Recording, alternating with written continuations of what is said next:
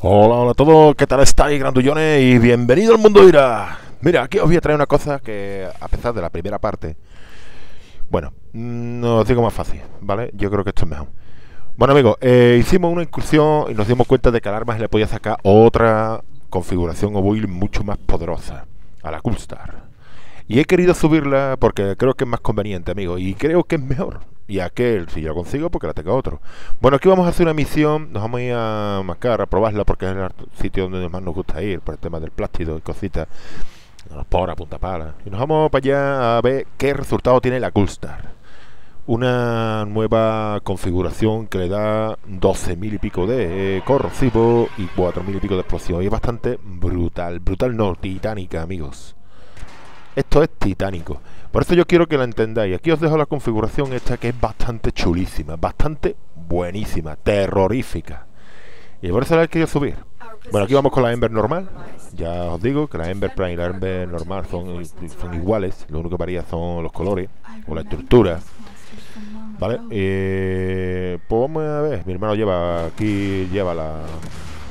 La, la, la perdón, la, la Nova y la quiere subir. Entonces, bueno, nos hemos venido aquí a subirla y pues aquí estamos.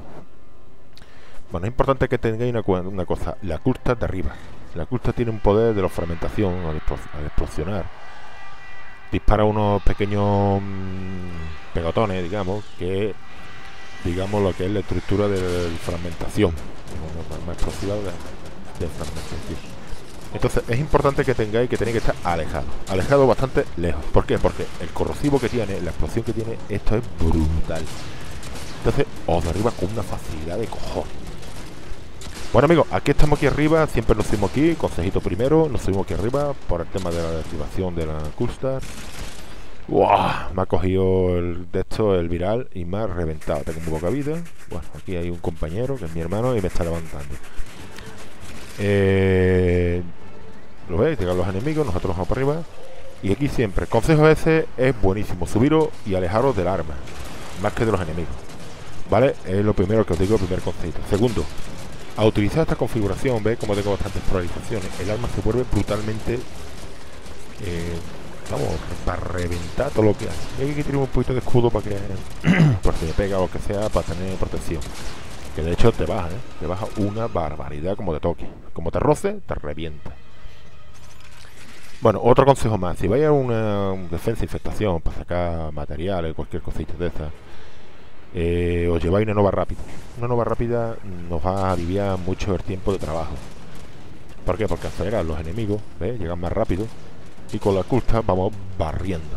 Barriendo, recogiendo los, restitos, o sea, la ceniza, el escombro. ¿Vale? Es importante que lo tengáis en cuenta. Bueno, aquí seguimos. Esta configuración os va a dar una una forma de, entender el juego con este arma. Vaya que le llevas a todos lados, pero no es conveniente. Para las infestaciones es buenísima, para nada más. Donde haya un barullo de enemigos y a punta pala, usted lleváis esto y después, no, lo dejáis, la dejáis libre, que entre aire, oxígeno, luz, todo lo que os vengan ganas. Y esto es lo importante de este arma. Gardullones, hay que tener en cuenta que los consejos se dicen por algo. ¿Para qué? Para que ello, para que ello sea funcionable, para que ello sea mm, mejor para el juego, para la competitividad entre, mm, entre las partidas, para que sean más rápidas, más la historia. Hay que entenderlo, amigos. Yo siempre doy consejos, bajo mi experiencia. Otra cosa más que os digo es que estas configuraciones no las vais a encontrar en PC, pero PC puede utilizar nuestras configuraciones. Y os lo recomiendo a los de PC, amigos. ¿Por qué? Porque es bastante importante. Y luego os va a facilitar mucho el juego. Recordad que en la consola se estruja más las configuraciones, se sacan más configuraciones y más, o más build o lo que quieran llamarlo. Aquí cada uno lo puede llamar como le vengan ganas. Yo seguiré repitiéndolo, seguiré diciéndolo, seguiré haciéndolo todo, amigos, para que lo entendáis. Bueno, ya sabéis cómo va la historia. Si alguien quiere conectarse a mi canal, Grandullones siempre hay sitio. Y si alguien quiere comentarlo, se le responderá en la medida de lo posible, en el breve tiempo. ¿Vale? Bueno amigos, esto ha sido todo. Espero que os guste el vídeo, entendáis los consejos y entendáis todo lo que haya. Así que, colegas, hasta otra, grandullones.